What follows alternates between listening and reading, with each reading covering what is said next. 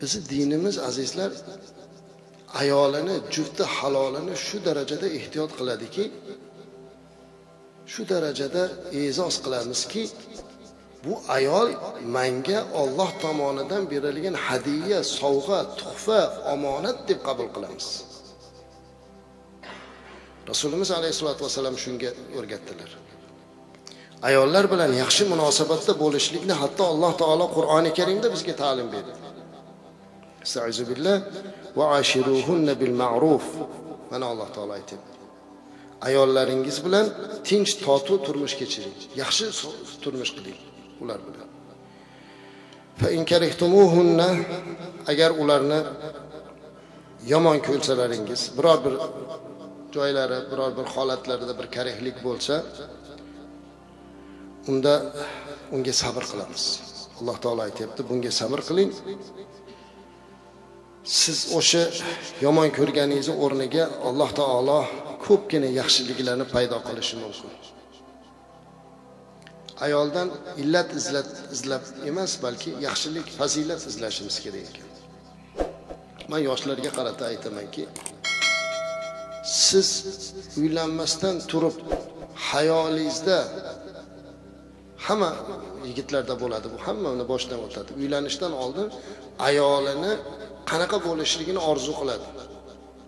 Ayolim bunday bo'lsa unday bo'lsa mana bunday bo'lsa bunday bo'lsa bunday bo'lsa. Siz orzu qilgan narsalar hammasi jannatda. Siz o'ylaganchalik bo'lib qolmaydi u kitoblardagidek kinolardagidek tasavvur qilib olishingiz. Xato keyin ayoldan buni talab qilish. Payg'ambarimiz alayhissalotu vassalam bizlarni ogoh qilib aytganlar. Ayol kishi umuman jufti halol erkakni qovurg'asidan yaratiladi. Qovurg'a esa qiyshiq bo'ladi. Yaralishligida o'zi nozikroq bo'ladi qiyshiqroq bo'ladi.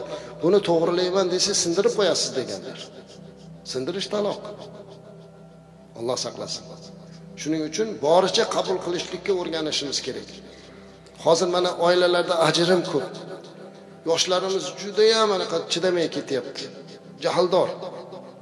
Ayolini bitta gapini qabul qilmaydi. Go'yoki islomda ayol kishi hech kim emas deb tasavvur qilishlik kerak emas. Islomda ayol kishini aytyapmiz hurmat qilishlikni. Jufti halolingiz ham nasihat qilasiz gaplashasiz. Ayol maqollardagi maqol noto'g'ri. Masalan aytaylik xotin jafo it vafo bu bizni maqol emas azizlar.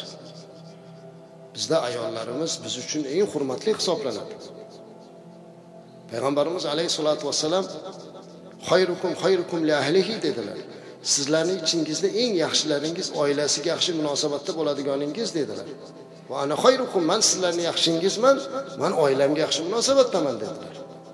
Ana shuning uchun oilaga yaxshi munosabatda bo'lish kerak ular bilan kengashish kerak. Payg'ambarimiz alayhissalotu vassalamdan o'rnak olishlik kerak. Oila turli kamchiliklar bo'lishi mumkin. Siz kutmagan holatlar bo'lishi mumkin lekin siz faqat fazilatini izlang. Sabr qiling. Inshaalloh o'tib ketadi payg'ambarimiz alayhissalotu vassalam bir kuni sahobalar bilan o'tiruvdilar oyisha onamizni hujralarida. Bir taom kelib qoldi. Sahobalar bilan o'tirgan joyiga bir taom kiritildi toboqda u taomni boshqa onamiz kirgizdilar.